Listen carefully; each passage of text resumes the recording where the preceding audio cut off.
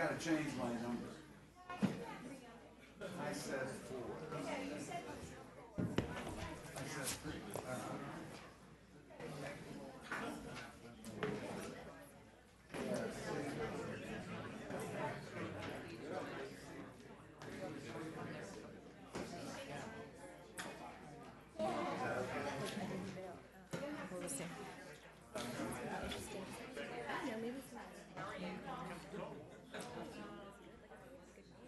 Right.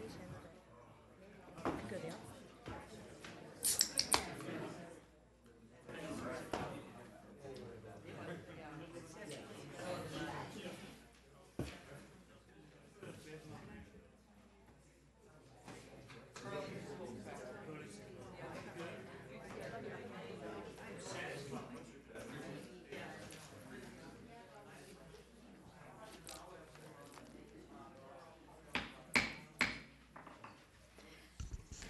Good evening. I'd like to call the meeting to order. It's 6:04 on June 8th, 2015, and we'll begin with the Pledge of Allegiance. Would uh, Commissioner Claus like to lead us in the pledge?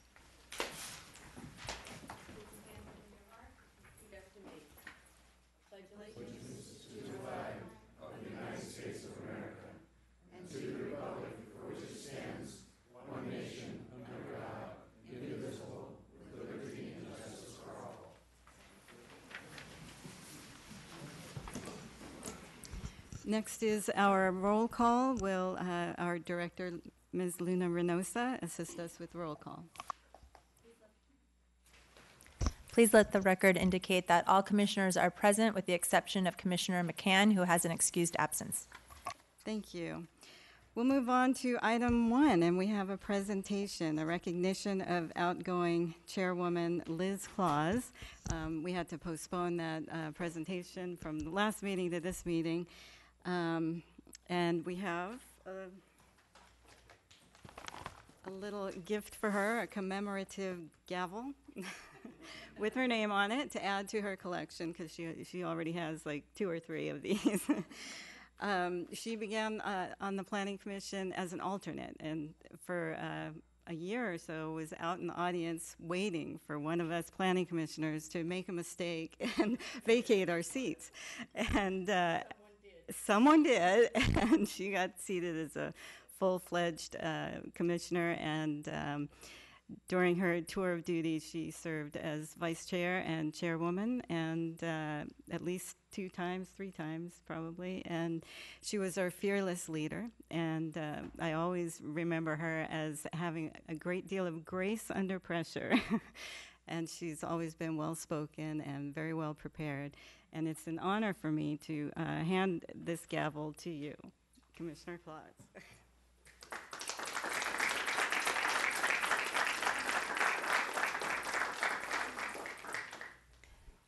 Would you like to uh, say a few words?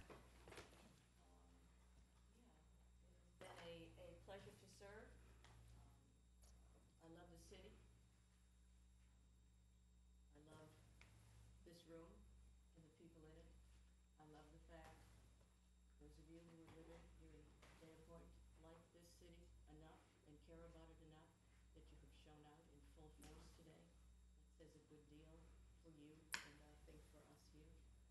Um, I think this is a very good planning commission. I think we're going to have, um, uh, some good times and some tough times. And I think that, uh, we will hopefully help the city move forward. It has been a pleasure. I would like to thank the staff, uh, because, um, they actually gave me a one cent raise. Um, Unfortunately, I, I spent it all on Thank you.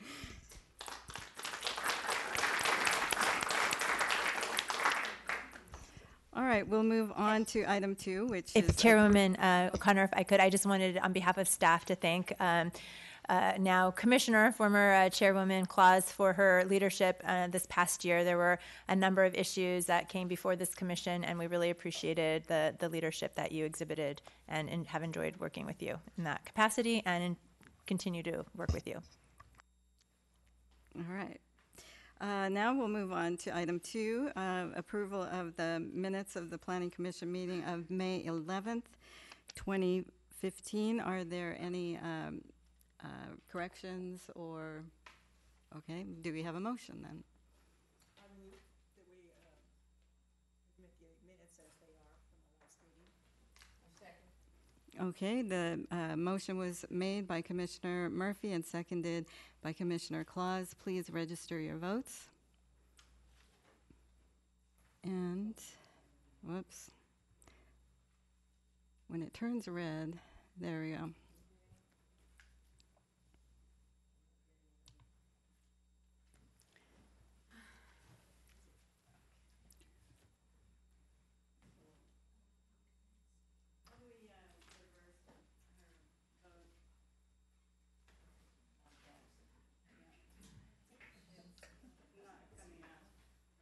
Oh, I got it. Yes. There's only one pending.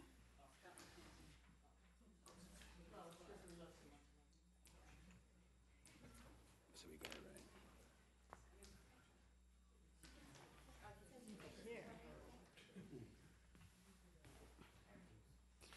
We just got our voting system not too long ago, so we uh, have some issues, technical issues.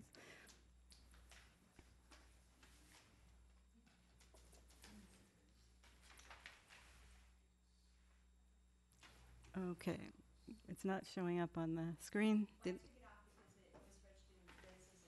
Okay. All of us?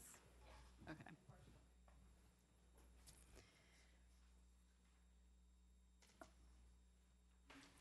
Can you uh, put the votes back up? There we go. Okay. All right. The minutes pass four to zero um, with Scott McCann absent. We will move on to public comments. Anyone wishing to address the Planning Commission during the public comment section or on an agenda item is asked to complete a request to speak form available at the door. The completed form is to be submitted to the Planning Commission Secretary prior to an individual being heard by the Planning Commission. Any person wishing to address the Planning Commission on a subject other than those scheduled on the agenda is requested to do so at this time. In order to conduct a timely meeting, there will be a three-minute time limit per person and an overall time limit of 15 minutes for the public comments portion of the agenda.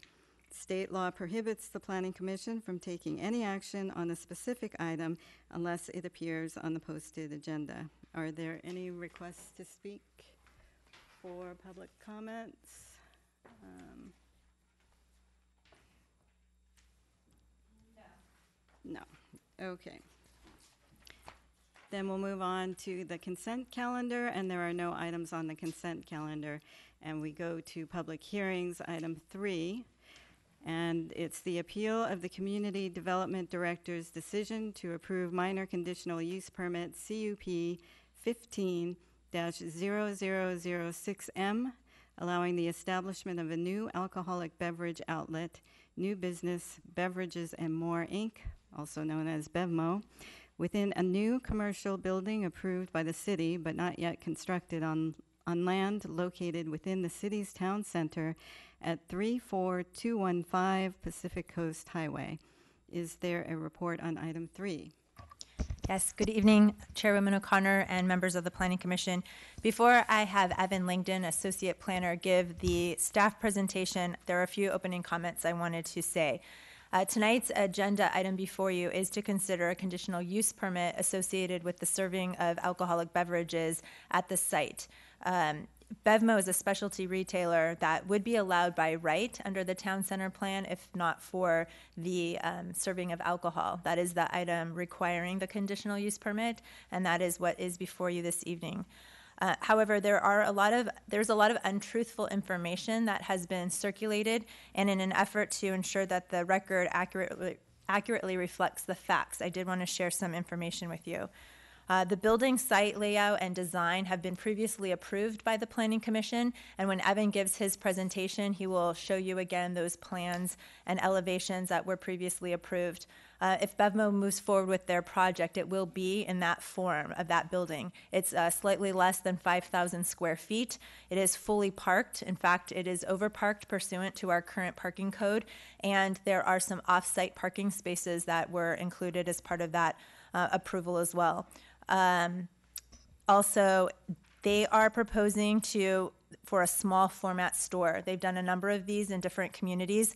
Again, it's slightly less than 5,000 square feet at this particular store, and they've done some as um, small as 42,000 square feet um, in some other jurisdictions. Um, but this building has been already approved um, with the, the floor plate that's been mentioned to you.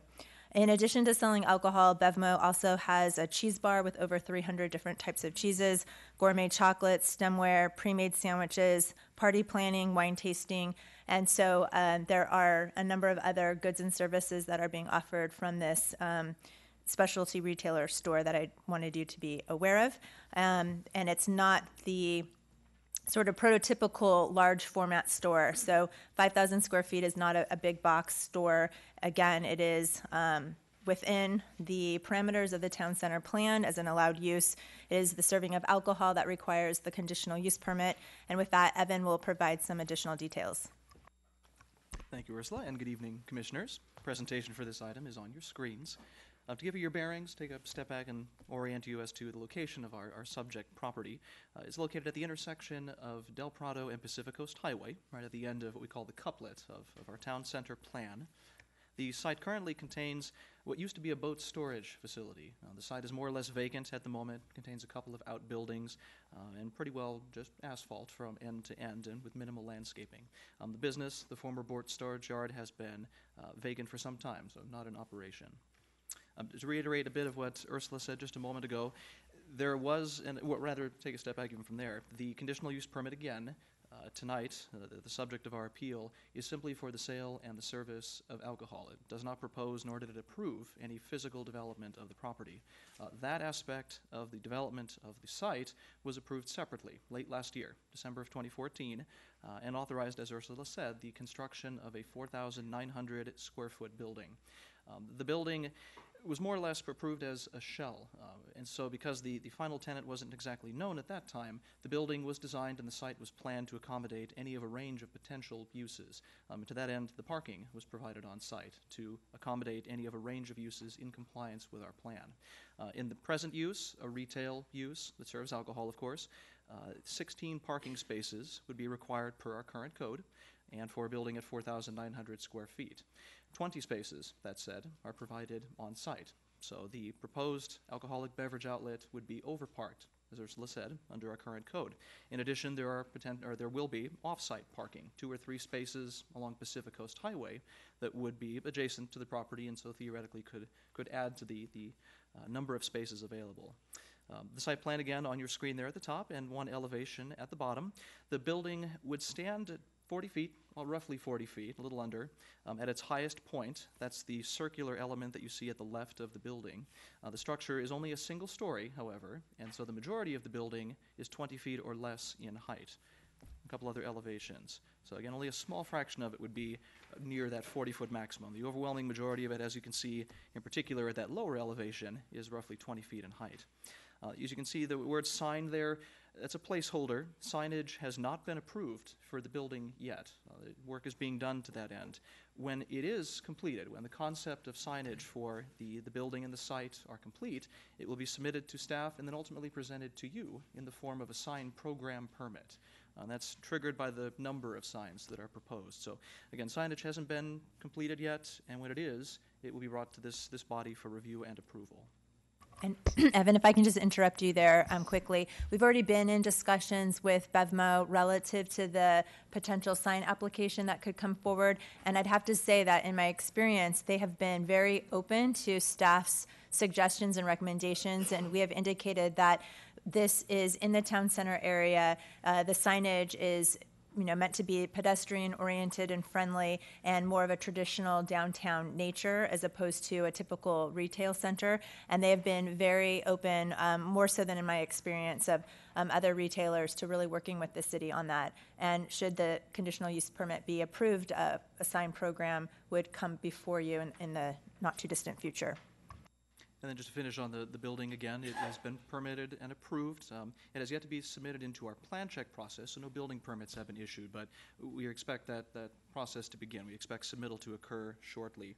And again, all appeal windows have expired for that approval, which again dates back to December.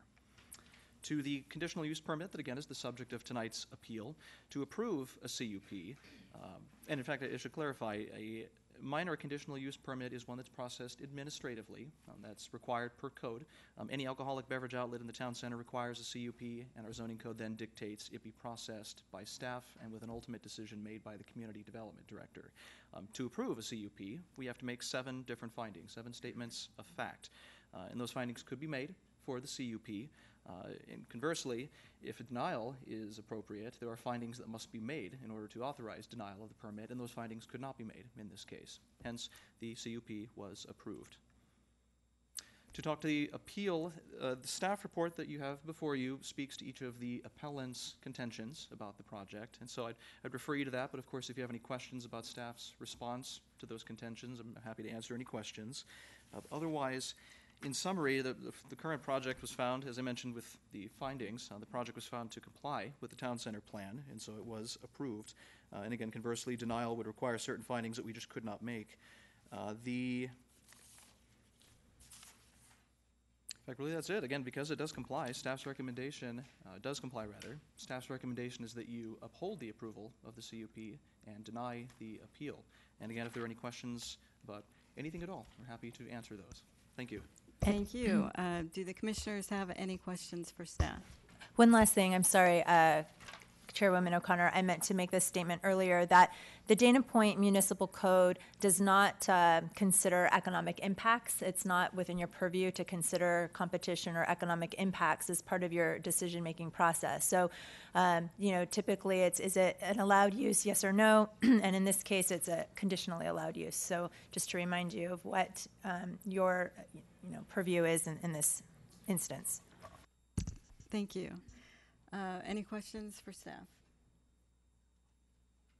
No? Okay, Uh, I, actually, I do. Um, I have some questions. Um, You mentioned parking. Um, Can you uh, give me an estimate of, uh, you know, how many parking spots there are in the parking lot and The, the site is proposed with 20 parking spaces. And again, for a building of this size, 4,900 square feet, only 16 are required for a retail use. So the site has an excess, on-site excess of four parking spaces. Okay. And then, um, you Plus know, an I- additional three on-site parking as well. you mean on the street On the or? street, yes, Okay. that they are required to construct. So is that 23 you're saying? So or- that's 23, 20 dedicated on-site, plus an additional three that are just adjacent to the the frontage of the building. Okay. Um, And then, uh, you know, I, Commissioner um, Claus and I were both um, on the Planning Commission when we uh, approved the, the initial project. And I, um, I just want to verify that when trucks make their deliveries, are they just, uh, there are two curb cuts, they can go from one side to the other, or explain the delivery situation? They, they theoretically could, but a condition of approval has been placed in, in the entitlement, in the CUP, that if deliveries occur before 7 a.m., they must enter the site and exit the site in a forward-facing fashion. And the, the thought process behind that is that big trucks backing up, of course, make that beeping noise. Um, and so, in an effort not to disturb the surrounding population, again, the truck must go forward if deliveries are occurring at that early, early hour in a forward and exit in a forward-facing fashion. Okay. um, Madam Chair, can they put Um, on the oh. microphone, please? It's awful hard to hear people talking. Can they have the microphones on, please? All right. Noted. Um, Okay, uh, let me check my other questions. That's it. Any other questions from No, I- Vice Chair? Chairman, uh, Chairwoman, I'd like to just reserve my questions for staff. I want to hear the presentation. Okay. You're good?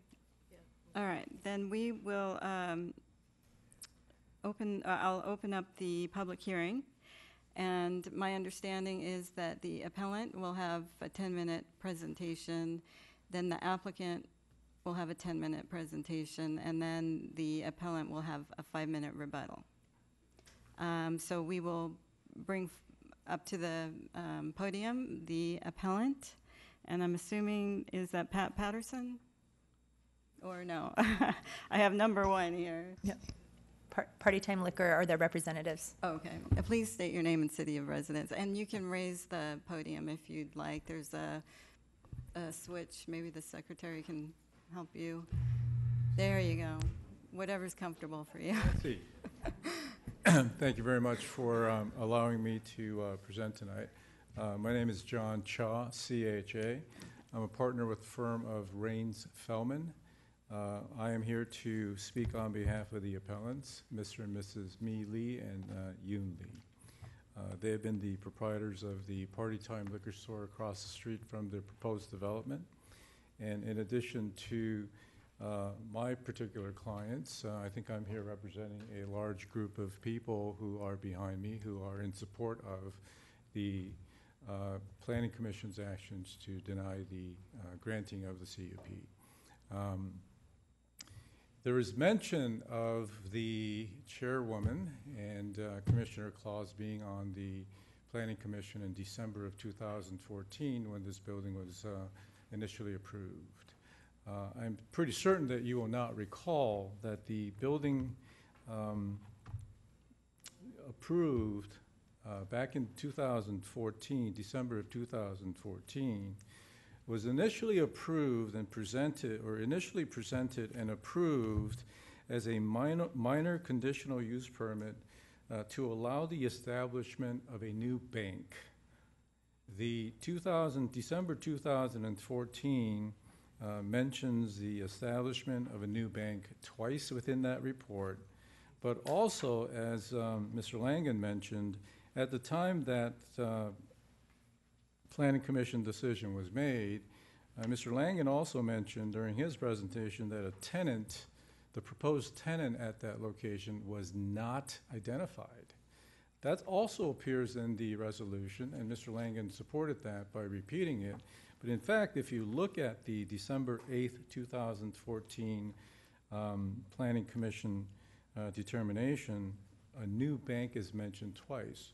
So the question is, if the Planning Commission in December of 2014 approved the structure of the building uh, with the ideal of a new bank coming into this location, and all of a sudden, here we are in June of 2015, and a BevMo is coming in, the question has to be raised whether there should be additional considerations that, is, that should have been taken place between a bank and a BevMo, which are obviously very distinct entities and very distinct businesses.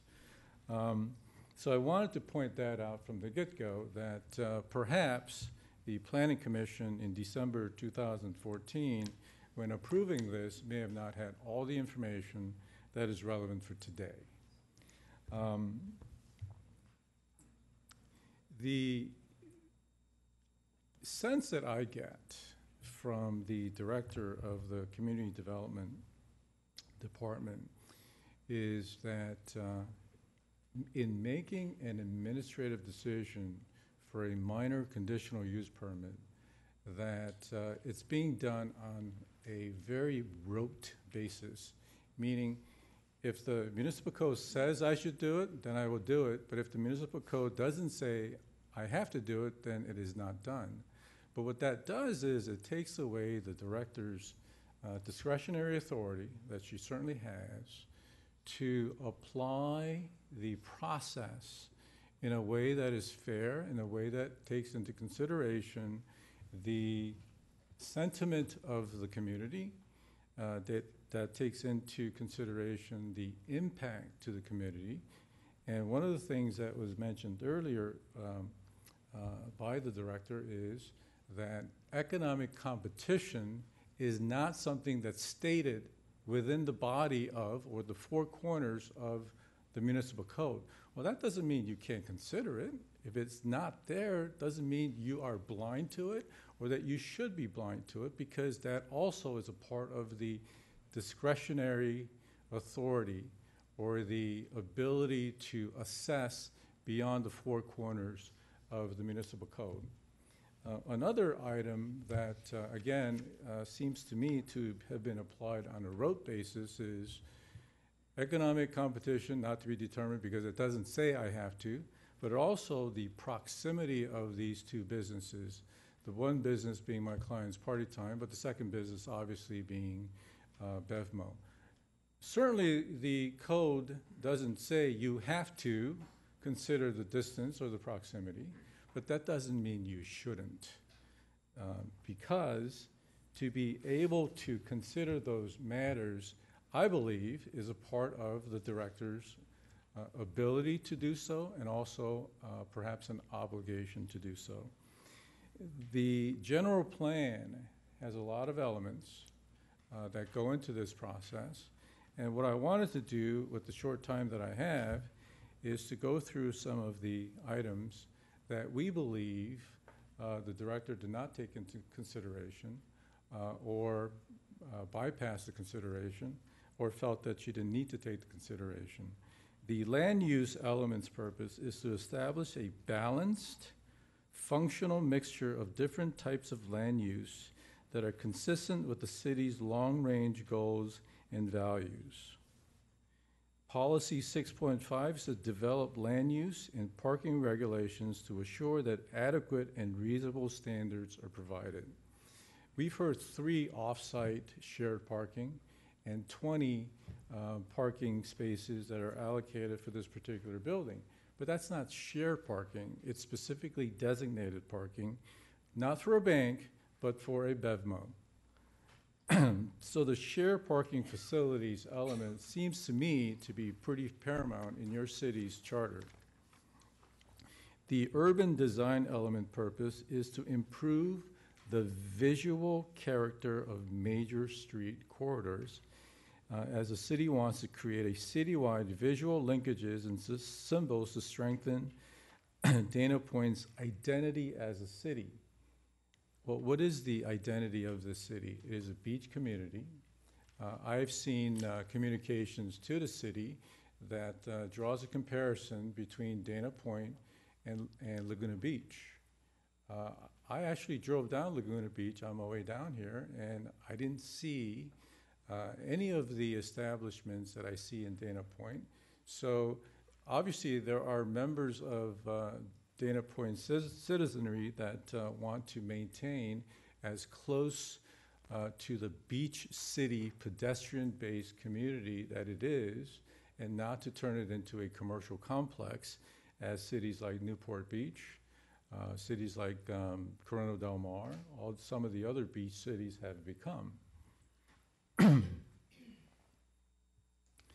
Uh, Policy 2.2, again, of the urban design elements purpose is to adopt development standards and design guidelines for commercial areas that reflect the individual character of each community. Now, to be frank, having viewed the area, um, I think the staff is absolutely correct that you've got old, uh, unused buildings in that location. Uh, it apparently used to be um, uh, storing uh, boats or, or other you know uses that uh, have not been in use for I don't know how many years. But you're right; it, it doesn't look very good. The area visually does not look very good. But to jump to the conclusion that this building that was uh, approved for a bank uh, can now be used for a retail outlet of the size of a Bevmo, um, not dishing out cash as a bank would, but dishing out alcohol and other products uh, when there are other uh, alcohol purveyors within that uh, area seems to me to be inconsistent with the character of this community. And what I'm hoping for is that others behind me would be able to articulate the character of this community that they would like to see and that they would like to see maintained for the city of Dana Point. Goal number three of the urban design elements purpose is to improve the town center as one of the city's primary shopping districts with a small town village atmosphere. Small town village atmosphere. That's what I see in Laguna Beach. What I don't see in a national retail outlet is anything that's even remotely close to the definition of a village. The circulation elements purpose, again, all within the um, general plan, is to provide a safe, sensible, and efficient circulation system for the city, to provide sufficient off-street parking. The staff has identified three. What the um, CDD, we believe, has not done is to, um, they may have, ass- uh, the, the director may have assessed the uh, effects when a bank comes in, but not the effects of when a BevMo comes in. I guess my time is up, Yes, thank you. and uh, I think I get a rebuttal. Yes. Okay, thanks very much. Um, The applicant, who is representing the applicant? Please state your name and city of residence. Uh, Chair O'Connor, my name is Greg Endem. I'm an employee of Beverages and More, Bevmo. We're located in Concord, California.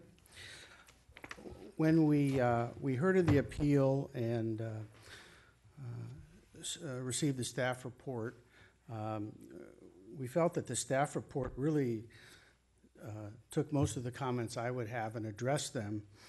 Um, and today, when uh, I came down and uh, I went over to see my friends at Ralph's, I went to see my friends at Party Time um, to, to truly again understand their stores.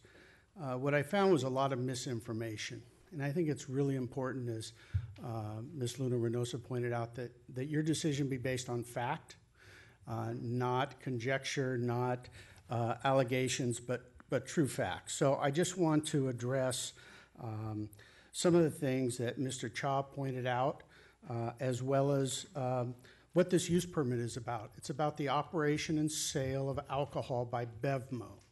So we're not looking at the building design, we're not deciding whether that was correct or not correct, that's already been put to bed. We're talking about Bevmo, is the parking meeting the code? Is the conditions of approval sufficient to ensure uh, the city, whatever city concerns there are? To do this, I want to talk a little bit about what we do in our business, because it's all about whether we're a good operator and we're going to be responsible alcohol, alcohol retailer. We do a lot of things to separate ourselves from the old-fashioned uh, liquor store definition that sometimes or convenience store that people will bring about. We do that with our product selection. There's a lot of things we refuse to carry. We don't sell cigarettes. We don't sell fortified wines. We don't sell half pints. We don't sell uh, magazines. We don't sell any type of adult adult literature. Um, we really specialize in wines, spirits, beers, and more crafted imported beers. We have 3,000 wines. People don't come to Bevmo to buy their everyday um, wine that they drink with dinner. Alcohol is sold through multi channel. People go to Ralph's or whatever their shopping main supermarket is, they buy their groceries, they pick up whether it's Yellowtail or BV or whatever it is, their everyday wine. They go to Costco if they're going to have a huge event and they want to buy in quantity. They come to Bevmo for special, special occasions. And we've, we've researched this extensively because we want to figure out how to get more business from the supermarkets because they have a lion's share of, of alcohol sales, especially wine. And what we found is it's very difficult for people to make the second stop. Everybody goes to the grocery store a couple times a week. But to have a reason to come to Bevmo, you need to be convenient, but you need to offer something that's not offered in the community. And that's what we do. We have 3,000 wines. Our staff people are trained on the different wines, not all 3,000, but they have a, Uh, most of the employees that come to us are passionate about the wine business or the spirits business, and so they have a real interest in our products. Um, we do that through selection. We have a a thousand spirits. We have about 900 craft and imported beers. I guarantee that uh, whether it's Ralph's or my friends at Party Time, you're not going to find that selection in their store. They sell a lot of other things that we don't sell. And so when we talk about competition, and that comes clearly through in the uh, appellant's uh, statement on appeal, there's probably over half of the 11 items he cites in one way or another as competition, um, most of which we don't sell. We don't sell food, we don't sell rolling papers, we don't sell lotto, newspapers, bait, tackle, pet food, cleaning supplies, health and beauty aids. That's not our business. We are the largest retailer of cav- fresh caviar in the state of California. We do sell a lot of Riedel glassware. Uh, we do have educational wine tastings once or twice a week where we bring in uh, many times vintners who will host their particular product line. But there's a whole bunch of things that we don't sell. And so, this notion that, um, as the young lady who was standing in front of Ralph's today told me, uh, Bevmo's coming to town, they're going to put Ralph's and Party Time out of business. Well, um, I don't wish that on anybody, but we're not that good. Okay, we're going to fill a niche that right now uh, there's over a million dollars of, of business of people that live in the Dana Point zip codes who are driving to our Laguna Niguel store. We know that because we have about 90% of our customers' addresses, zip codes, emails. So every time they shop, we know where they come from, what they buy, how often they buy. And so those people are, le- we call it in the retail world leakage. They are not finding what they need in town and they're driving to Laguna, Laguna Niguel, which is not an easy drive, it's not a convenient drive. So that's one of the things we believe we can serve is the folks who are already driving, want our product and driving out of the community. We talked about um, the other things that we do different to be a better, responsible retailer. We don't hire anybody under 21. We can, we could hire anybody over 18, but we choose not to. It just reduces the peer pressure element of, of sales to minors. Uh, we have our own in house um, secret shopper program, Sting pro- program, much like the ABC uses, to ensure that every customer that comes in the store is being checked for ID. Everyone. And we have an ID checker that is at each register that scans the ID that eliminates any uh, fraudulent or uh, phony identification. We also don't let children in the store. Um, you have to be over 21 or accompanied by a parent or guardian. Even though we have 32 kinds of root beer, um, those are not the people we want to cater to. Uh, the planning commissioner in San Francisco got very upset with me when she said, "Well, is my child going to be able to come in and buy root beer?" And I said, "No." I said, we, that's, that's, we draw the line because we want to ensure that the things, there's a slippery slope. When you have children in the store, somebody under 21, you can end up with, you know, more enticement of sales to minors. My, uh, uh, Mr. Cha also alluded to uh, this issue of the project was proposed with a bank. I was not here. I can let the developer and maybe staff can speak to that. Uh, I know this space was available when I first learned of it. Um, whatever bank may or may not have been interested was not there. And um, we felt with the size of the building, it's about half the size of a store we would normally do. But this is a focus that we've had. We've found them very successful. They're much more convenient to shop. Um, I'm categorized in my flyer here from the opposition as a big box for 4,900 square feet. I know Walmart at 180,000 is a big box, but I wasn't ever sure that 5,000 or 4,900 was. But, um, you know, I would like to save whatever couple minutes for later if there's additional questions or uh, maybe some rebuttal, but I'm happy to answer your questions now. Okay, thank you. Um, and can you repeat your name again Gre- for me? Greg, Greg, okay. I just want to make sure I've got your speaker slip here. Okay. All right, uh, well, if we have questions, we'll call you back. Um, The ap- appellant wants a five-minute rebuttal, correct? Please state your name again for the Um, audio record. John Chaw, CHA, for the appellant.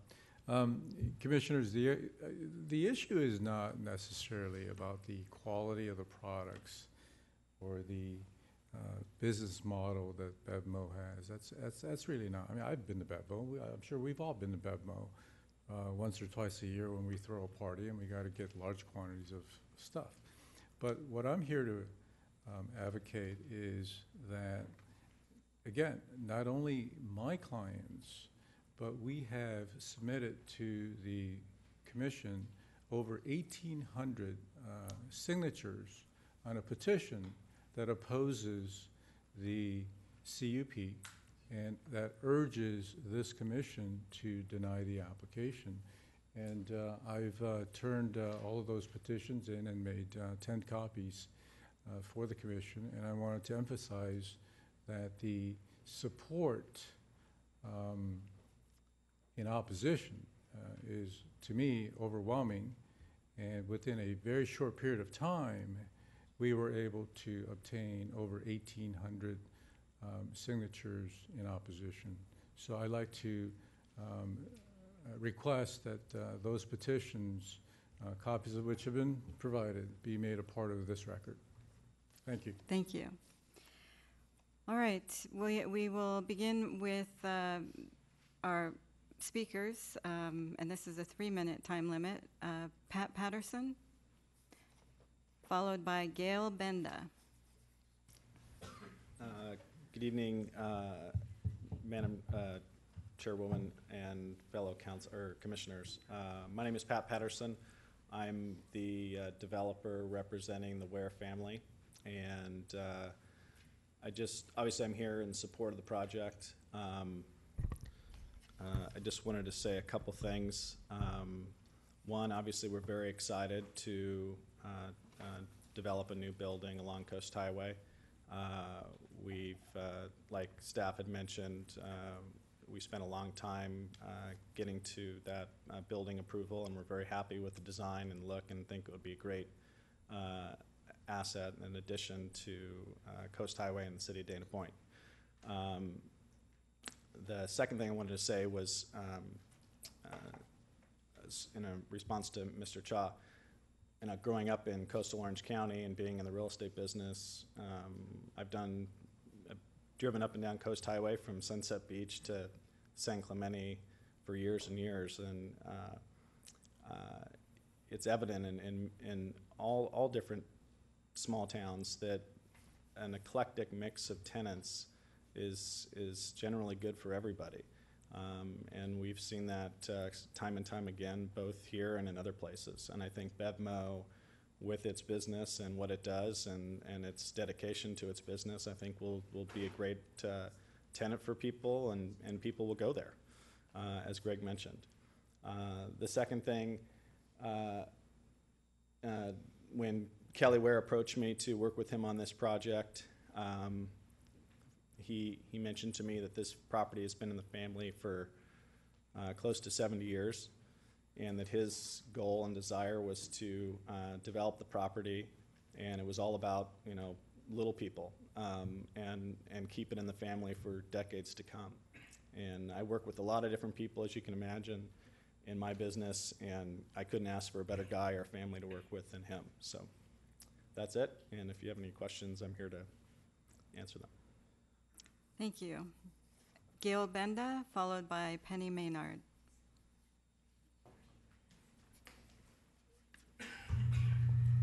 Please state your name and city of residence. Hi, I'm Gail Benda. I'm a resident of Dana Point, have been for more than 10 years. I urge you to please grant the appeal of the Community Development Director's action and disallow this conditional use permit, or CUP, that would make it, make it possible for a BevMo to be built on this property. This, requ- this request is not a request to disallow liquor stores from coming to other areas of Dana Point, but it is a request to reconsider the location of this particular business. The proposed location of this particular property is one of the first areas of business that someone coming into Dana Point will see. While there are other businesses one can see before coming up the hill, the highlighting of the start of town center with that big sign has made this property most noteworthy. This is a major component of the major view corridor into Dana Point from the south. This view corridor is one of the ways visitors to our lovely city will judge our city. As they, whoever they are, say, you can only make one first impression. And our major view corridors serve as our way, Dana Point's way, of making a first impression. The location of this property is one of the places Dana Point makes a first impression. Dana Point is spending millions of dollars to beautify and redevelop both Del Prado and PCH and all of Town Center with new traffic patterns, sidewalks, mature palm trees, etc. So why would we want to highlight a discount liquor store as one of the main attractions of Dana Point? There are other locations where Bev, a Bevmo could be built that are easily accessed, but that wouldn't affect our small town atmosphere and our wonderfully locally owned businesses in town center. Perhaps down near Doheny, Doheny Village, for instance. I certainly don't have a problem with having alcohol sold in various stores, restaurant, pubs, etc. around town. I just don't believe that one of the first things visitors to Dana Point should see in such a prominent spot is a fairly large, flashy chain store known for selling alcohol. That would tell visitors that alcohol and chain stores are what we most care about and what we want everyone to know and remember about us. Most of us in Dana Point do not want that to be the impression given to visitors to our wonderful city. Please grant the appeal that is before you tonight and disallow the, the CUP. Thank you. Thank you, Ms. Bennett. Hold Order. I have a no clapping, no booing policy. um, it expedites the process, but I also want you all to remember that this is a business meeting. This isn't a theater. So no clapping, no booing. Ms. My Maynard. name, my name is Penny Maynard, and I am an almost 20-year resident of Dana Point. And I'm here in support of Bevmo. I think that what the city has done and what they've negotiated and the conditional use permit and all the different aspects of it will ensure that it is an attractive property. I know the city, I know the city government, I have complete faith that they will not have some flashy chain big box. And it's silly when you hear 5,000 as opposed to the size of Walmart, and you can't call them both big box. And that is my opinion. And uh, I hope that uh, Bevmo is built. We need people to come downtown. This is a draw, and it will help all the other businesses and retail that the city hopes to attract from the area. I have been watching and listening for almost 20 years at various stages of this town center revitalization. And um, I just am so happy to see what is happening. And you need to bring people in. We're going to have Marblehead in San Clemente that's going to draw so many people. We need things to draw people to Dana Point Town Center.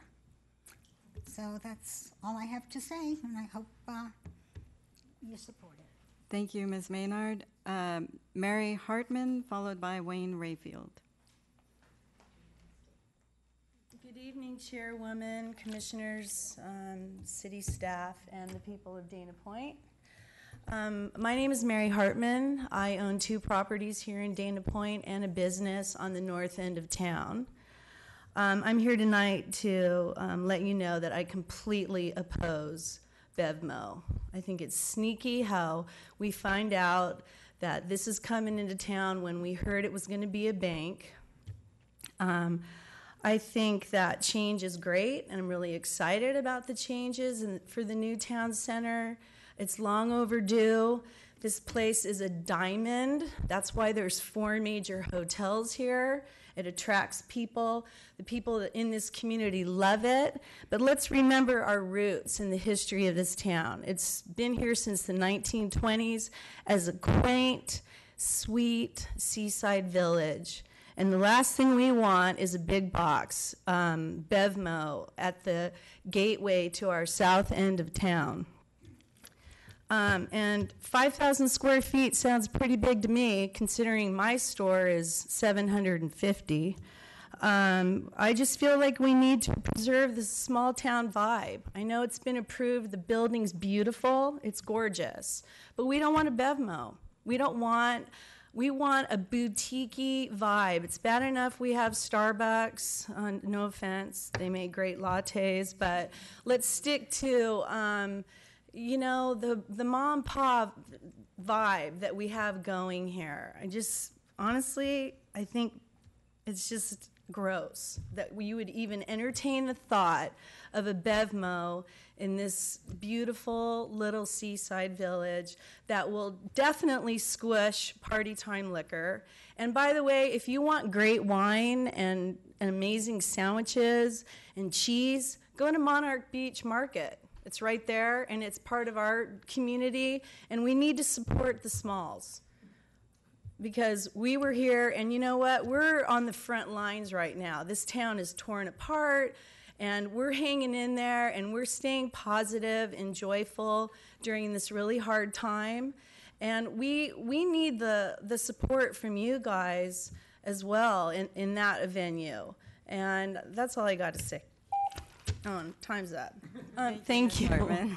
thank you. Uh, next speaker is Wayne Rayfield, who's not a stranger to this venue, and uh, followed by Stephen Carpenter. Good evening, Madam Chair, Commissioners. My name is Wayne Rayfield, and I am a long term resident of Paradise. And I hold our city staff in the highest regard. Unfortunately, tonight I must respectfully and adamantly disagree with their action. And I would call on the Planning Commission to overturn the director's decision to approve a minor CUP for Bevmo. A little history. As you may know, I was chairman of the Town Center Committee back in 2005 and 6. That committee was composed of 15 residents and business owners. We held 30 meetings, formal meetings, and a lot more informal one on one meetings. We also had 300 or thereabouts pieces of press that were published. The whole process that took more than a year was open and transparent. We had many points of view expressed. We had a lot of ideas expressed. And we made many compromises and adjustments in what our initial thoughts were. And the whole process c- culminated in the town center plan, which ultimately some 85% of our community endorsed, given a survey. And they also made ideas, uh, suggested businesses. We need a bakery, we, we need an improv theater, we need a bookstore, we need this and that. No one ever suggested we need a mega retailer of liquor, I might add. Bevmo is simply inconsistent with the plan that the City Council adopted in 2006. The major goal of that plan was to create a vibrant, pedestrian oriented town center. You've heard Bevmo described. People drive to Bevmo, they get the specialty liquor they want, and they drive off. What's pedestrian friendly about that? Nothing. The subcommittee discussed and agreed on 10 principles for Town Center, which were also adopted by the City Council and committed to. Number one was keep the family oriented beach character of Dana Point. Does Bevmo do that? Absolutely not. Also, create a distinct character and identity. Bevmo doesn't do that. Please ask yourselves is Bevmo consistent with the commitment the city made to our residents? And when you ask yourself that, you must conclude, conclude No, it is not. Thank you. Thank you, Mr. Rayfield. Uh, Stephen Carpenter, followed by Michael Sprague. Or Sprague. Good evening, Madam Chair, Commissioners, and staff. My name is Stephen Carpenter. I'm a resident in Capistrano Beach since 1959, which probably passes most of everybody in here, even some of you in your age. Um, I'm here tonight regarding what the staff report is coming up with. As the city states pursuant to the California Environmental Quality Act, CEQA, the project is found to be categorically exempt per section 1532, uh, 15332. Um, if you look up that section and what was originally approved, the section states in there, if any of the following actions, in the number one item, D, approve, approval of the project would not result in a significant effect relating to traffic, noise, air quality, or water quality. I owned a liquor store which is going to be, which is roughly one quarter the size of what Bevmo is. You're going to have semi-tractor trailer trucks. You're going to have your Anheuser-Busch trucks, which run around 45 feet, semi-tractor trailer trucks that are going to be pulling into there. There's no real designated loading zone because the size of the property doesn't require it per municipal code. But the parking code is requiring 17 units plus one handicap spot. They're saying there's going to be 20 on the location. What are you going to do with a 65 foot semi tractor trailer trying to pull in there and turn around and make a U turn? Where are the employees going to be parking? And if you're going to consider on street parking, how many cars then are going to be jeopardized when you have a tractor trailer or delivery truck and the constant flow of delivery trucks that are going to be coming in and out of that seven days a week? How is that going to work with traffic flow? It's going to substantially cause a problem at the main intersection, which is going to be the main entrance to the southern main entrance of the town center. I urge you, do not approve the CDP. This should go through a complete new process to apply for a cup for the type of business it was approved for. It was approved as a r- office building or a bank, not to be a retail store that was going to impose a huge traffic burden on that southern entrance. Thank you. Thank you, Michael Sprague, or Sprague. You can correct me when you get up here. And uh, followed by Kirsten Reynolds. Uh, hello, how you doing? Uh, my name's Michael Sprague. For those who don't know me, um, I'm a resident of Dana Point, California. Um, I was born here. I grew up here. I went to all the schools here, and I'm also a U.S. Army veteran. And I've been shopping at Party Time Liquor since I was 16 years old. Um, I uh, Uh, admit that on the record. I, when I was 16 years old, I was actually um, arrested in the parking lot of Party Time Liquor for, uh, for being a minor in possession of alcohol. And I've been shopping there ever since. Um, I'm not trying to make a joke of this, but when I look at the city I live in and how when you drive into Dana Point, it's just like you have Hennessey's and you have Stillwater and you have Ralph's, you have Circle K, Party Time. You have all these businesses that can sell you alcohol. You have a thousand restaurants that can sell you alcohol. I mean, that's what this city's kind of becoming. It's a great place to come hang out and drink alcohol. And um, I mean, what is what we need when you drive into Dana Point is another liquor store that says, "Welcome to Dana Point. Come get some booze and drive back to your house and have another party." I mean, I don't know. That's just the the city I see is changing a lot. It's being developed.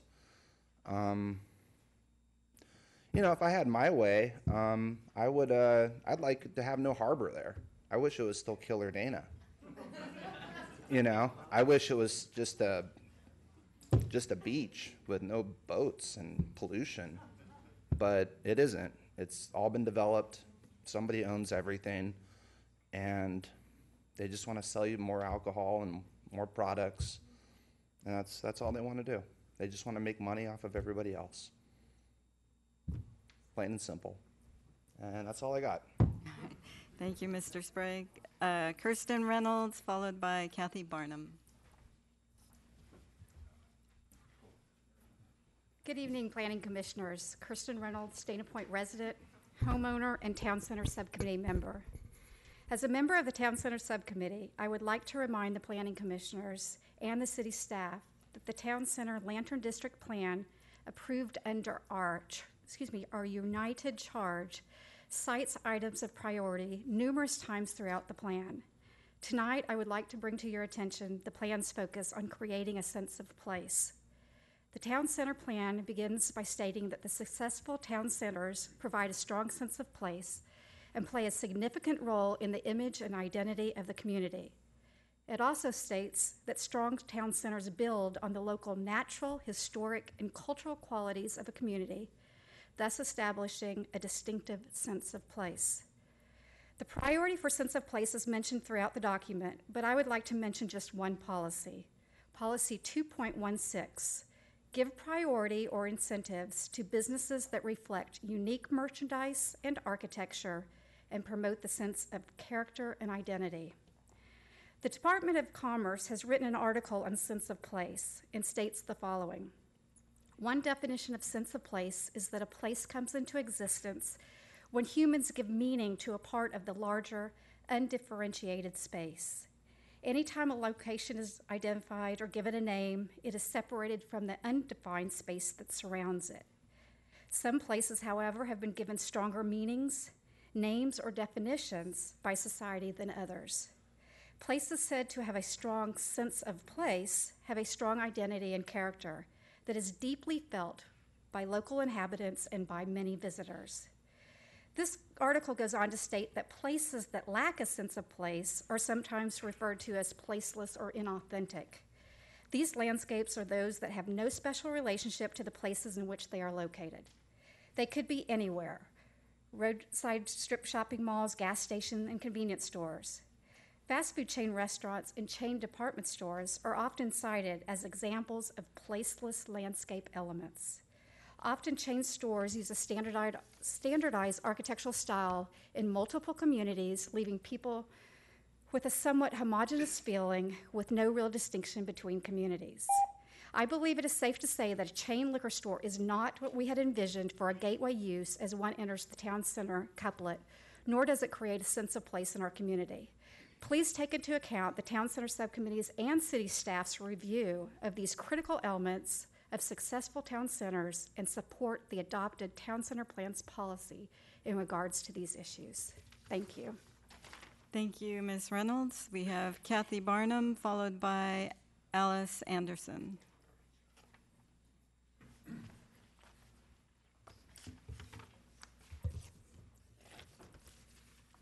Good evening, Madam Chair, Planning Commissioners. My name is Kathy Barnum. I have a PR firm, and I'm currently in Mich- live in Mission Viejo. I'd like to take a moment and thank outgoing Chairwoman Liz Claus for her many years of service and leadership. She's been a model planning commissioner and a friend to all of us. She will be missed as part of the Planning Commission team. This evening, I'm primarily here to uh, share with some of the commissioners that are new some of the tasks I was responsible for back in 2005 when Roma Design Group and other consultants toured what is today becoming our downtown Dana Point. And in May 2005, wrote The Issues and Opportunities for a Successful Town Center. I was hired to coordinate the public outreach for the writing of the final proposed town center plan. That meant my job was to help staff write, produce, and disseminate multiple types of communications, some of which included communication information packets to the 15 member subcommittee, printed fact sheets, maps, banners um, around town inviting people to meetings, press releases, newsletters, shopping guides, presentations to club and organizations, to name a few. Right, Mr. Tilton? and Bobby, where's Bobby? If I could not have done it without these two people, and several others, I should say. The reason I bring up all of this is that I've heard it mentioned that the town center plan is too out of date, too old, and I want to have it on the record that hundreds of people participated in this outreach campaign that lasted over a year, always with the intention that this process was and would become a long term living planning document, that it would probably take seven to 10 years before implementation. It was written like that. It's really not too old of a plan. Tonight, you're looking at an appeal for a warehouse liquor store where people will come in, buy liquor, and leave. No one will be walking up to town center with, booze in their hands. I ask you tonight, please improve your communications to the residents, the existing businesses, and the people of Dana Point.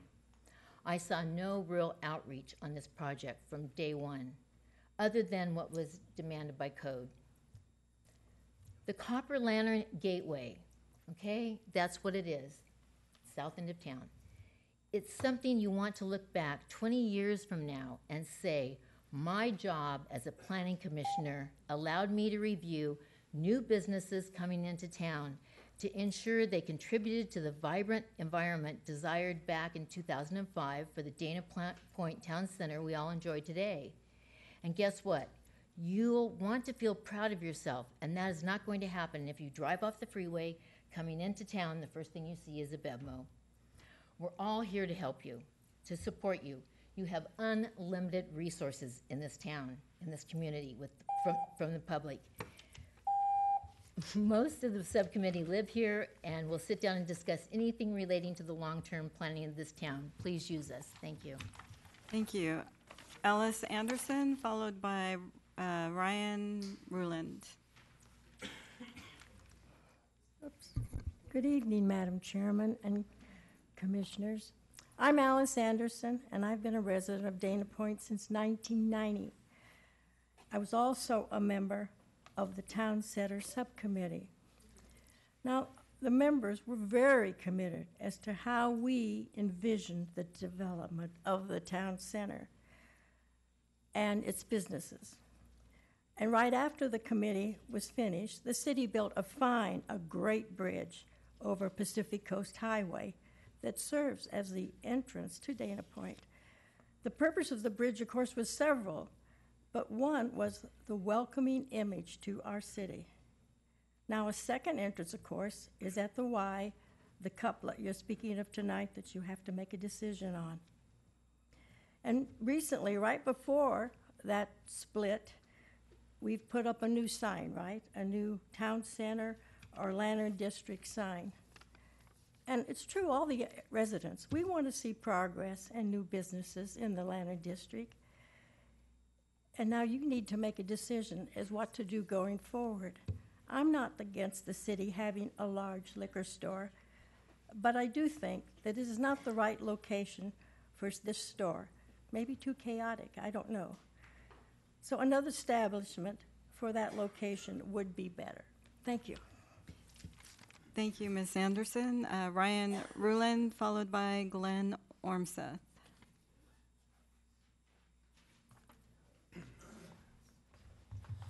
Good evening, uh, City Commissioners. My name is Ryan Ruland, and I'm an 11-year resident of Dana Point, and I've lived in Orange County for 40 years, and I've also owned eight different properties in Dana Point.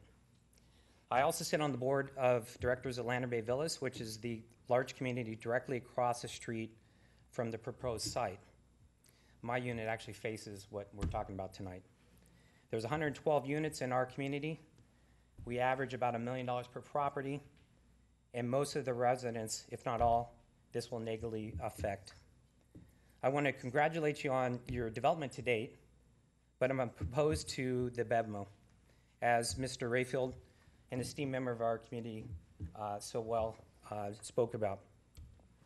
I just think it's ridiculous to have a discount liquor store at the entrance to our city center. Um, do we really need a company at our main entrance whose motto, per the website, is shopping for beverages should be as much as fun as drinking them? And do we need a, a, a, a liquor store who sells five cents bottles of wines?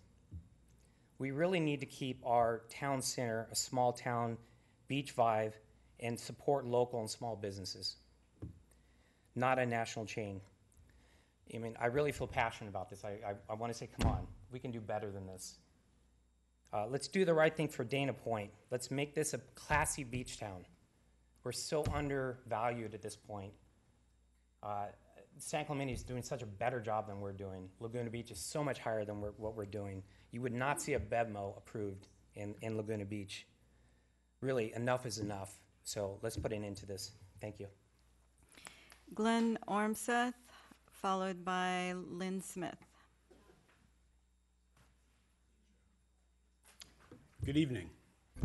Uh, My name is Glenn Ormseth, and I'm the president of uh, the Homeowners Association at Lantern Bay Villas, which, uh, for those that don't know, is directly across the street from this site.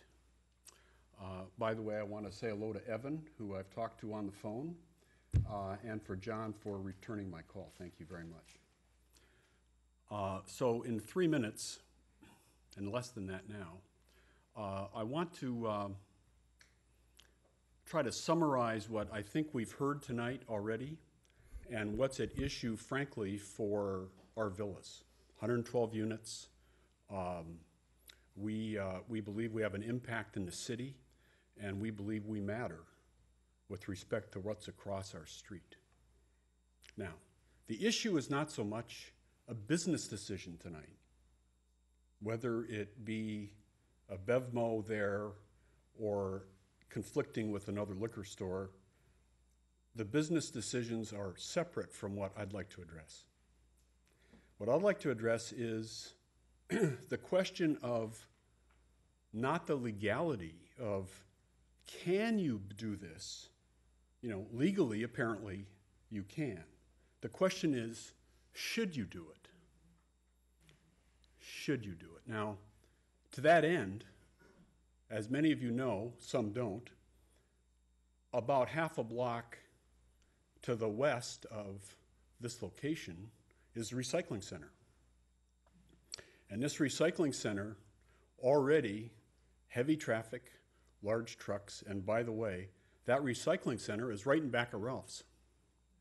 So there's already large semi trucks every day come in and out of there.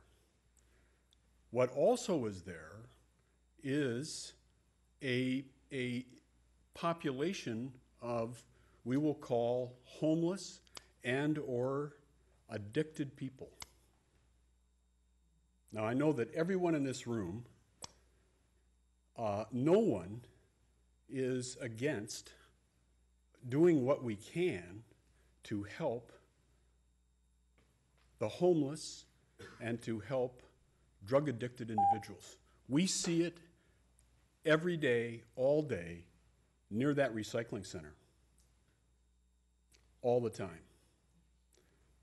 If we want to have our city, as was spoken earlier tonight several times, regarding the friendliness and the residential village quality of our city, it seems to us that putting a tenant, a Bevmo that's, that serves liquor, just aids and abets what can happen. Recycling center, get your money, go down the street, go into Bevmo. We are facilitating something that I don't think any of us want to do. So it's pretty obvious, I think, that uh, the villas, at least, across the street, would rather have another tenant in this building, which I understand has already been approved, than uh, Bevmo. Thank you. Thank you, Mr. Ormseth. Uh, Lynn Smith, followed by, mm, it looks like Michael Mento, but I can't read your writing.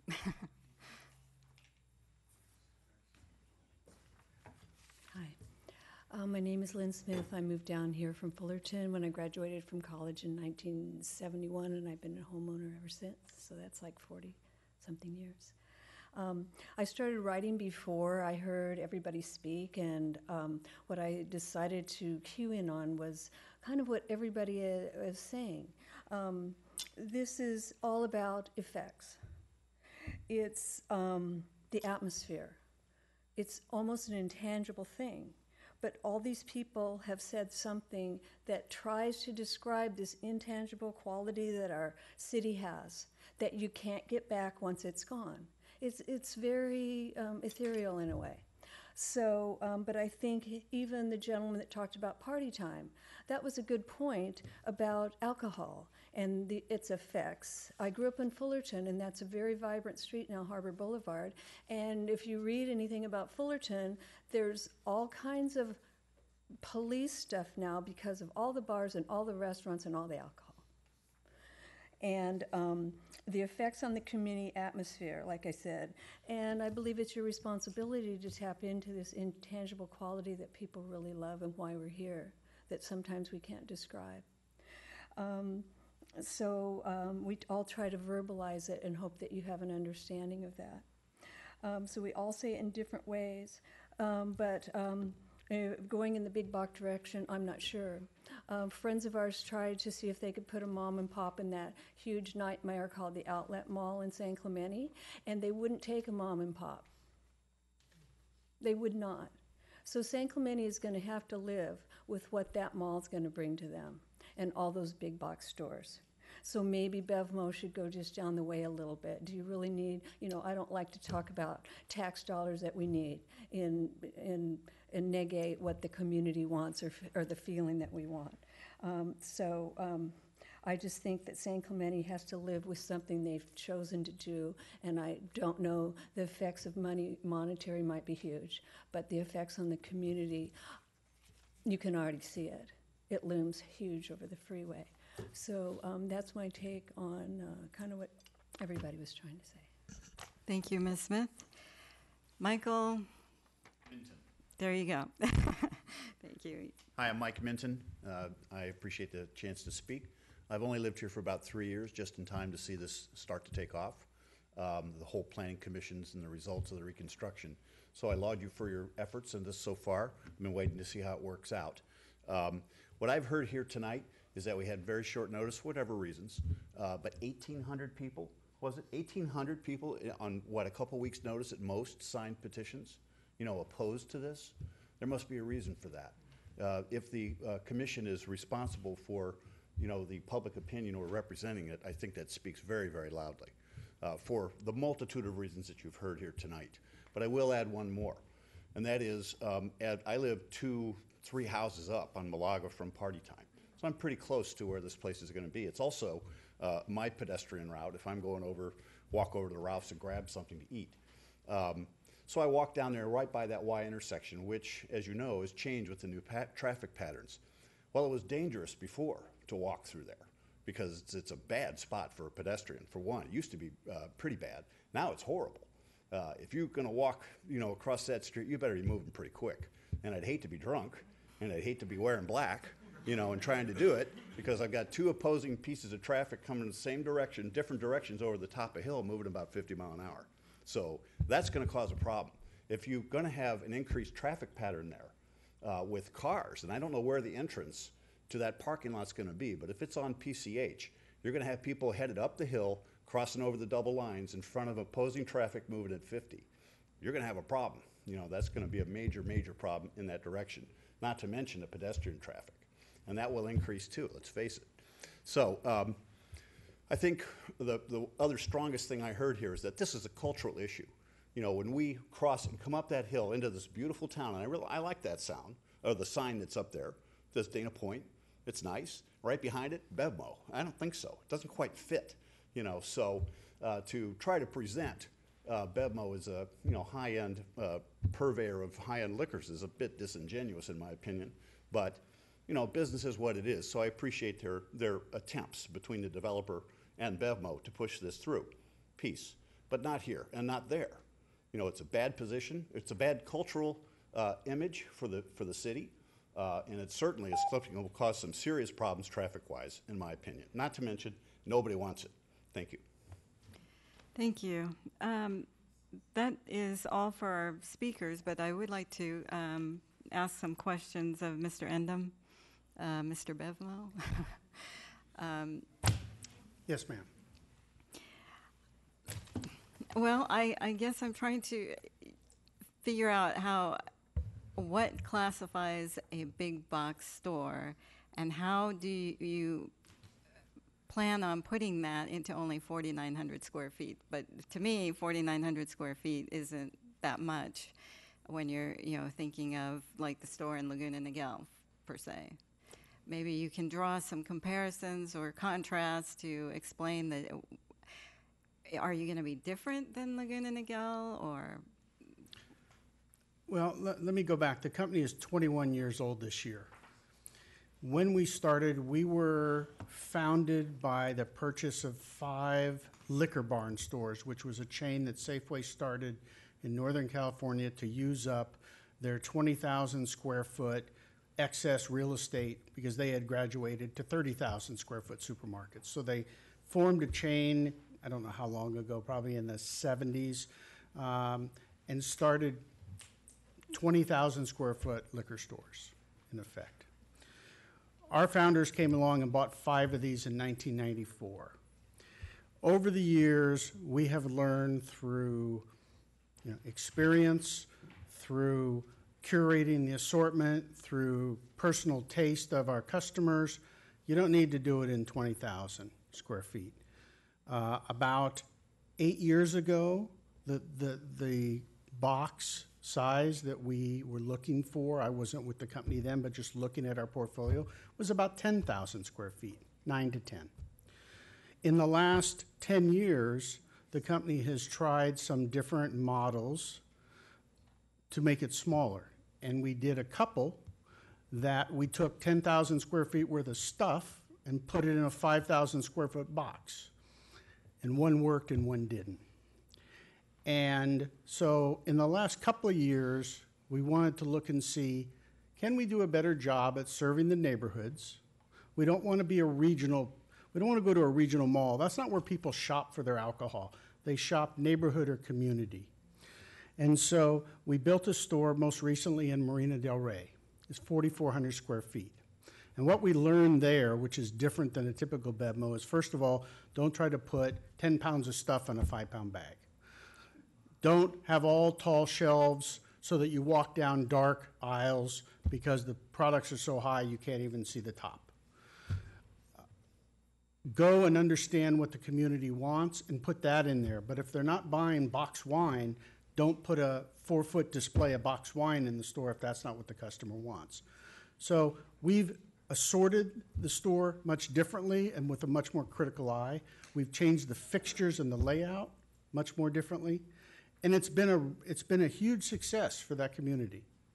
And we're going back now and retooling some of the other smaller stores that we didn't do correctly um, 10 years ago to adapt some of those elements. So, is it going to look like a typical BevMo? I- I don't think, uh, we feel it doesn't.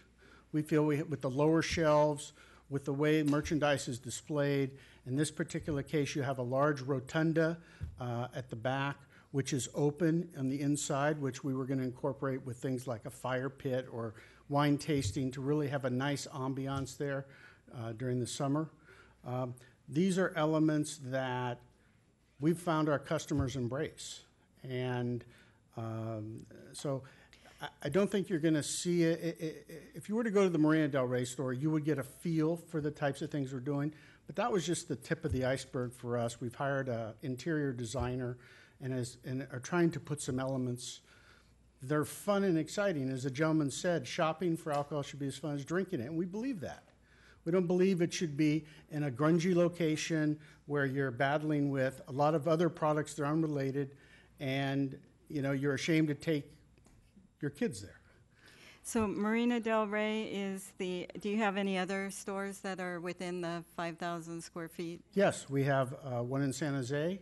We have one in Solana Beach. That was those were the initial stores that we're retooling now. Um, we have a store in La Jolla that's not five; it's a little larger than five. Um, and then we have about five of these on the drawing board. So this is a new business model? uh, Well, no, or it's, it's a it- refinement of an old business model that we spent more time on. Okay. Do the commissioners have any questions for Mr. Endem? No? All right, Thank thank you. you. With that, I will close the public hearing and uh, bring it back to the commissioners for a discussion, deliberation. Anybody would like to start? Uh, Chairwoman, excuse me, Chairwoman O'Connor, I do have a couple questions for Okay. staff, if you don't mind. Vice Chair? Um, Evan, can you help me out with a couple things here? Uh, First question that I have for you is related to traffic. So when you looked at the traffic for this use, is it could, is there a, a code? So I know the ITE manual has a code specific for individual uses. Does liquor have its own code, or does it fall into the retail category, the convenience store category? And when you compared that with what was, excuse me, approved, was there any difference? If, if I can go ahead and take that question. Um, what we did relative to environmental analysis and, and traffic as part of that is uh, there's a categorical exemption. Uh, it's a class 32 infill exemption, and it asks you to look at, uh, there's a few different criteria that you have to meet, and, and traffic being one of them. Um, the town center plan, when it was adopted, a mitigated negative declaration was um, approved as, as part of that adoption of that plan. Um, then subsequently, when the city moved forward with the streetscape improvement project, a project level EIR was done. Uh, but essentially, that streetscape project was looking at the entire town center development, re- uh, configuring traffic patterns. So it had to look at traffic under the build out scenario of the town center plan, as did the MND. Um, so there was a total of um, uh, 237 residential units analyzed, additional residential units, 81,224 square feet of office space, 192,165 square feet of retail restaurant uses within the town center plan. And um, CEQA establishes thresholds. And so until these thresholds are met, um, there are no significant impacts for traffic, noise, air quality, any of the other issues that are analyzed in a um, environmental review process. And this project coming online does not trigger that threshold. So staff was able to, with in consultation with our um, traffic consulting firm, third party traffic consultant, conclude that there would be no traffic impacts that were not previously analyzed under those other two documents, and therefore there were no traffic impacts or any of those other impacts. So it was uh, exempted. Further, and that analysis was done when the initial building was brought forward. I've heard people talking about the differences between a bank use and a and a you know liquor store. Um, first, I would like to clarify for the record that even when the initial staff report was brought forward, and in fact, if you look at the elevations, you'll see bank and shop on there. There, the developer was clear that they were in negotiations with various tenants, but they hadn't landed one yet, and that they were wanting to keep their options open. It was never clear whether a bank would potentially occupy the entire floor plate, whether there would be two different tenants in there, um, and the developer applicant wanted to keep options open because it was a spec building and there was not a tenant yet selected. But in discussions with our CEQA attorney, there is case law, and, and specifically, um, you know, not the exact same facts here, but actually, in some ways, um, worse facts for another case where there was speculative development and it ended up being a Walmart that was coming in. And folks were very concerned about the environmental impacts of the Walmart, and the court ruled that it would be ludicrous and ridiculous for a developer to be able to have signed lease agreements with every single tenant before they move a project forward in an environmental review process. And in fact, it didn't matter who the end tenant was. Um, that the fact that it was Walmart that was coming through, the fact that a retail use had been analyzed was sufficient. And so um, I, sort of a long-winded answer, but we did analyze these various uses, um, and we feel comfortable and confident that the exemption is accurate, and, and actually that there is no new information, no new environmental effects um, from moving a BevMo forward. And in fact, there's another CEQA section that says you don't need to do any further environmental review in that circumstance. And that court case held up that um, analysis and decision. Then I was reading in the conditions, I assume the applicant or the, uh, has, uh, is okay with them, that there's some provisions about single-serve uh, alcohol. Are there any other provisions in any of the other stores located in the town center that have restrictions on how and what they can sell? I'm personally not aware. Um, some of our businesses have conditional use permits, and they may have conditions therein that would speak to that. Some others may not, depending on their age, and others may not have CUPs at all, again, depending on their, their age. Um, but uh, personally, I'm not aware. I'm not. Do you have any experience? No, and I'm not aware of any other than, say, a, a coffee shop uh, maybe was approved as a coffee shop, and therefore, if they wanted to serve alcohol, so to speak, then they would have to come back to the city to get an approval for that. Um, if they wanted to expand their menus to where they became a full-service restaurant, that wouldn't be allowed under their current conditions of approval. They'd have to come back. That's about the only example I could think of. Okay, thank you. I think, uh, yeah, that covers it. Thank you. Evan, um, do you have the rendering uh, C two point zero that you could put up on the um, overhead? I just wanted to clarify something. Uh, when we approved, when the planning commission approved the building. Oh, okay. C two point zero.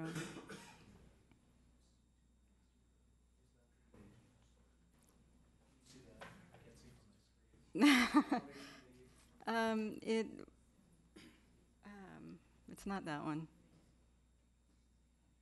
Yeah, I, it, it could be that one. This, well, that says site plan.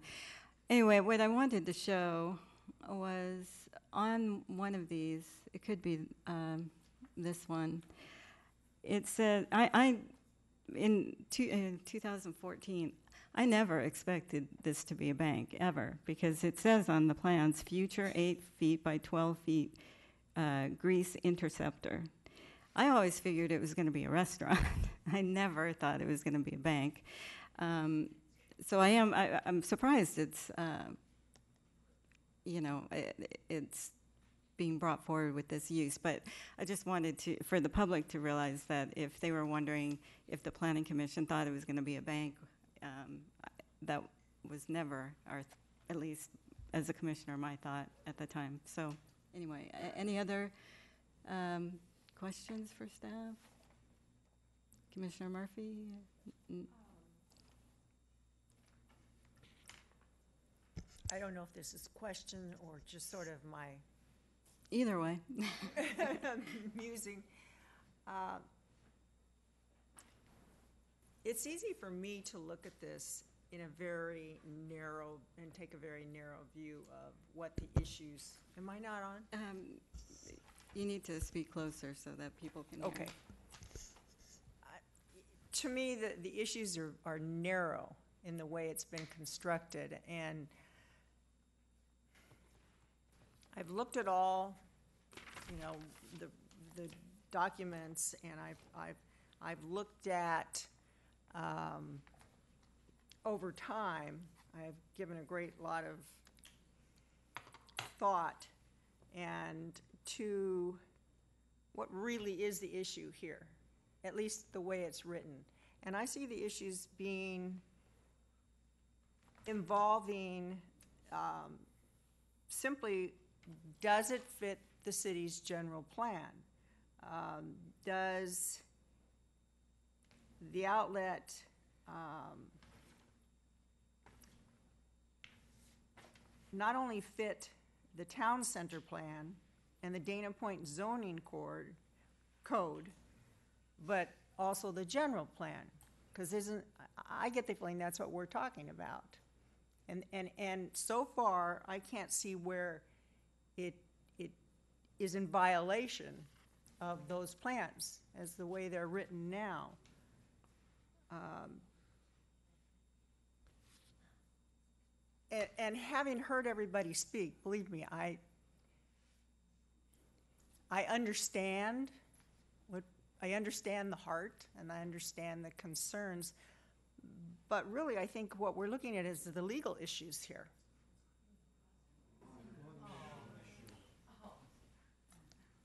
In terms of, it has been established that this plan fits all of, it fits these, these codes. It fits the Dana Point zoning code, it fits the town center plan, it fits the general plan. Um,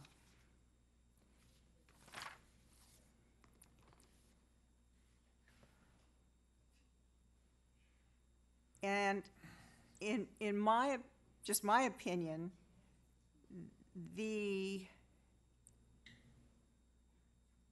some of the issues that were discussed tonight are not within the purview of the Dana Point zoning code and, and not within the purview of this discussion. So I, can you tell me, uh, give us a little more information about how this plan has come to, to be you know, we put the plan here and then we look at the zoning codes and, and how does that all figure in? Certainly. So the, the town center plan is actually part of the zoning code, and it's, it's an appendix to the zoning code, so it's essentially part of the Dana Point zoning code. And in order for it to be approved, a finding of it being consistent with the city's general plan had, had to have been made. So um, it, it, it was approved, that has never been challenged, and um, I'm not aware of it not being consistent with the city's general plan. Um, one thing that I think is confusing, perhaps, uh, to to the public are there sometimes are are goal and policy statements in the town center plan that use words like you know should and encourage, and what the city staff has to look at are actually the, the development standards, and you would you know assume that the development standards would be consistent with those goals and policy statements, and but there was a land use matrix that was um, approved as part of the town center plan. That this land use matrix has uses that are allowed by right, meaning that if somebody were to come forward and propose one of those uses, it would not come before this body at all. It would not be a discretionary decision making process. They would just come and pull, pull building permits. There are conditionally allowed uses where they have um, you, the, the city can use some discretion and, and put some conditions of approval. Um, in this case, it was the serving of alcohol, and, and staff did look at that closely to ensure that there would be no negative impacts from the serving of alcohol and provided some conditions. And in fact, we provided a couple of other conditions that go beyond that scope a bit, frankly. Um, and finally, there are prohibited uses. And the town center plan never said national retailers shall be prohibited uses. It didn't say anything over so many square feet shall be a prohibited use. And so, in terms of does it comply with the code, uh, the answer is, is yes. Uh, Commissioner Claus? Um, I am, I am not convinced that um, a BevMo is um, the devil incarnate. Um, I, I'm not convinced that it is something that is going to be uh, terrible for the city. At the same time, I think that we probably have uh, other issues before us that are more compelling, and that is the uh, ramping up the Lantern District. And my understanding on this BevMo was that that uh, we believe that that could be a way for it to kind of, you know, jumpstart the Lantern District. Um, we have had a number of developers come and go. Uh, we have a couple of restaurants that seem to be ramping up. Um, certainly, when uh, they were looking at, at uh, the harbor, uh, we got lucky and a couple of uh, really good restaurateurs came in and were able to jumpstart that in the harbor. And I think what we really need is something that jumpstarts this. Um, if we get the right arrangement, it well may be that we would want a BevMo um, or not. Um, I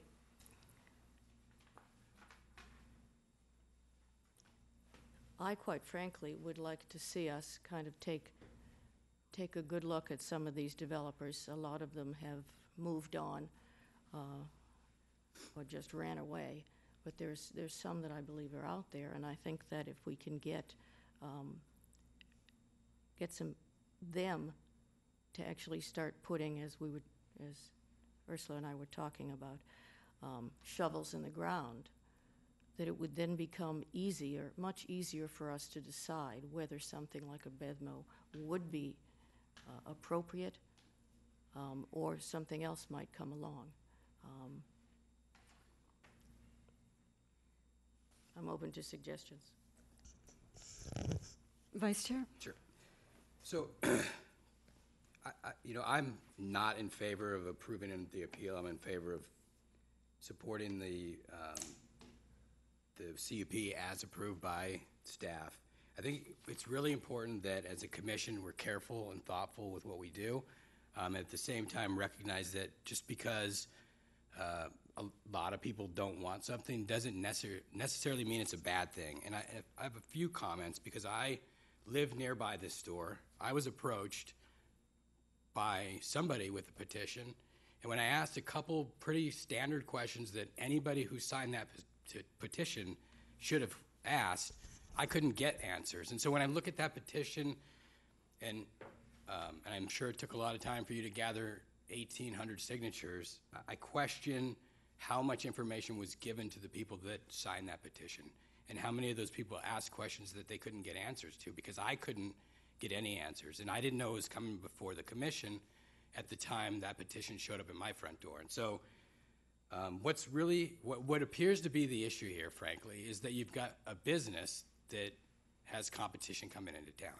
And that's not for this commission to decide on. We don't get to sit up in here and determine whether a chain store is appropriate over a mom and pop. What I know is I live in Dana Point because of a chain store, because my family, one of my family members works for a chain store, and they provide the income for us to live here. I also know that every chain store starts as a mom and pop. And so for us to sit up here and judge the chain store um, as a planning commission is, it, frankly, anywhere that I've looked in the zoning ordinance and the general plan, I can't find it. And so I'm not inclined to, to grab onto this idea that Bevmo is, you know, the devil. I just, I don't see it. So um, I think our scope is limited to the uh, CUP only, and uh, I'm in support. I also believe that that building will be a great building, and whoever's in there, as long as it's an allowed use, uh, will do well, and that building will suit this community well. It's, it's not necessarily just the retailer that's inside the building, but also the building itself. I know that I saw drawings floating around the community with 30-foot signs. My understanding is there are no signs approved under this project? Correct, a sign program would come before this commission in the future if it's approved. And so, you know, for those reasons, I, I would not support the appeal. Thank you, Vice Chair. Um, you know, I've, I've struggled over this, um, this decision. Uh, somebody had mentioned, what do we want to see ourselves as a city? And they pointed out Laguna Beach. Well, my husband was born and raised in Laguna, and he would not want us to become Laguna Beach because it went from, you know, mom and pop hardware stores and, and uh, liquor stores and, um, you know, car dealerships to um, t-shirt shops and yogurt shops and everything supporting tourism and nothing to support um, the residents. And, um, you know, residents have to go out of their city to uh, go buy things. And so um, that's what's happening now. A lot of, uh, you know, go to Laguna Niguel, go to San Clemente, go to other places. And we don't want that to happen. We want to, you know, keep our businesses in town. Um, I struggled with, you know, is this pedestrian friendly? But then I look at that, that piece of land. And what do you have? You have Ralph's, and that's a drive-in type business, and Rite Aid. Um, I've walked uh, from my house over there uh, on occasion, but you know, if you're going to be carrying out big things, you're going to be you're going to bring your car. Um, the recycling center, that's a drive-in type uh, uh, business. And, um, you know, Bevmo is going to be also a drive-in business. Now, the question is, um, is this a big box, you know, venue? And in 4,900 square feet, in my opinion, it's not. Um, if you want a big box store, uh, you're going to have to be more than, you know, like 100,000 square feet or or whatever. Uh, you need to have places to store your inventory, and um, and you definitely need more parking for a big box store. So obviously. And that's one of the reasons why I, I brought up the uh, representative from Bevmo to find out what is, you know, their their model of uh, their business model. Um, they are going to be restricted just by sheer floor space. Um, Now, do we want to see that, you know, Bevmo sign right below the welcome to Dana Point? Um, I'm not sure about that either.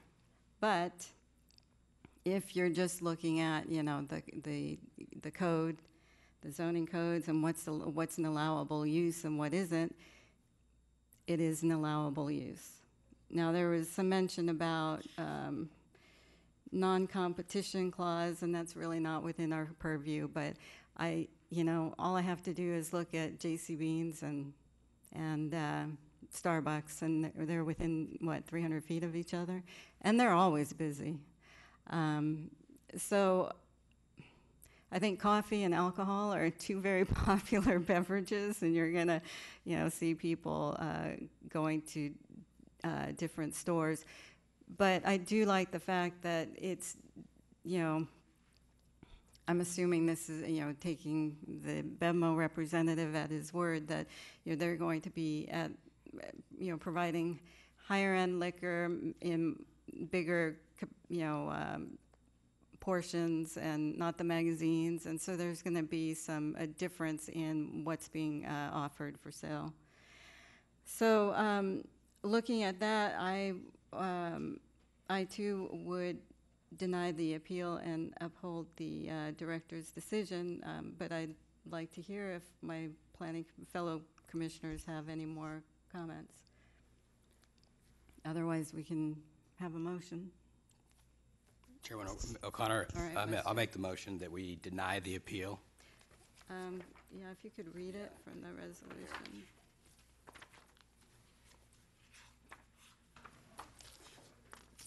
There go. Oh, you got it. Oh.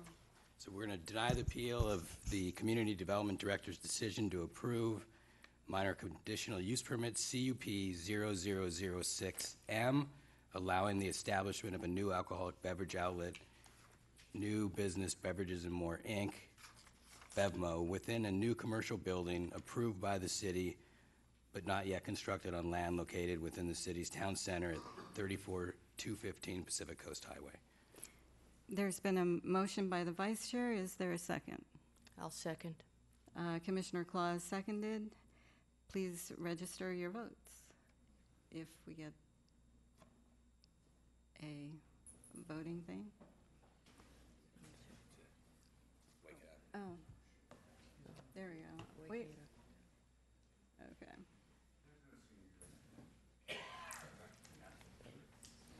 I gotta do it here because I'm marked as absent. I can just do a vo- voice vote. Okay. Oh, you switched it on, okay. And it still says absent. That's right. It still says marked absent for Liz Claus. I'm willing to certify that I am not absent. Here here we go. It's gonna come on with Scott. Oh, it is. It's gonna come out for Scott.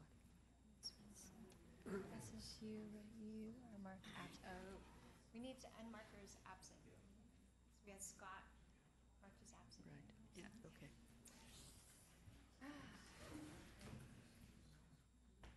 We can do- Okay. We can do a voice vote. Are we gonna do this again?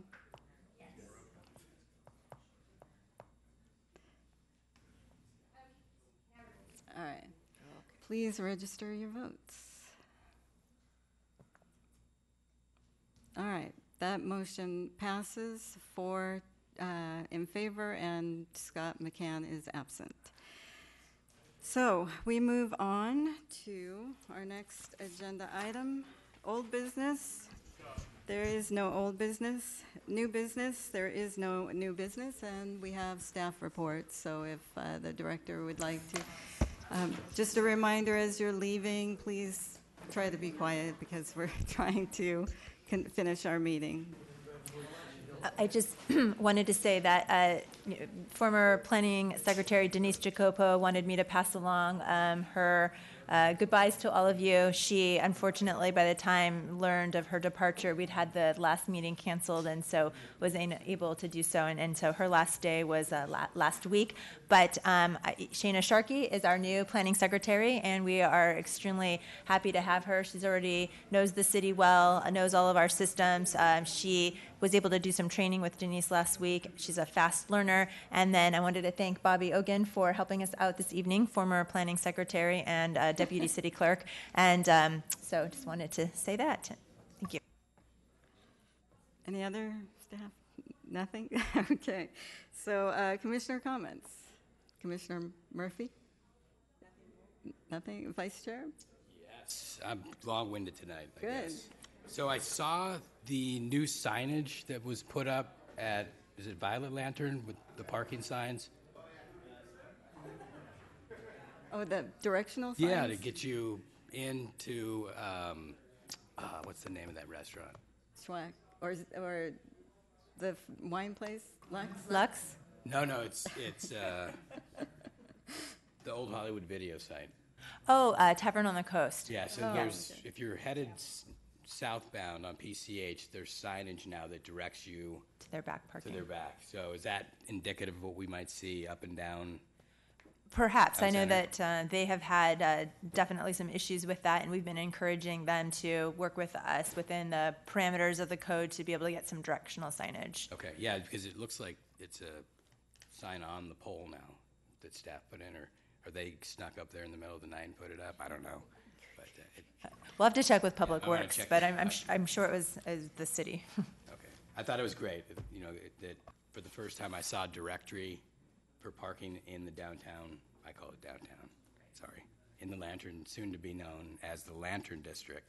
And I thought it was great, so just wanted to comment on that. Fantastic, and I will, I will add along those lines that there is um, a directional wayfinding signage program, comprehensive wayfinding signage program that's currently under design. Um, The first phase of that will be in Town Center, and there'll be more of that sort of signage. Commissioner Claus? No more comments? Okay, well, I just want to say uh, that we're going to miss Denise and, uh, and say welcome to uh, Ms. Sharkey. We, we don't, usually we're, our meetings aren't this exciting, but. So you, uh, yeah. Did you notice that the attorney spoke the least? I got through the whole meeting without saying anything. Well, we'll, we'll change that. Does that mean you guys don't need me anymore? I can go home earlier on Mondays. All right, so we go on to adjournment. The next regular meeting of the Planning Commission will be held on Monday, June 22nd, 2015, beginning at 6 PM or as soon thereafter in the City Council Chamber, located at 33282 Golden Lantern, Suite 210, in beautiful Dana Point, California. Have a good evening. Thank you.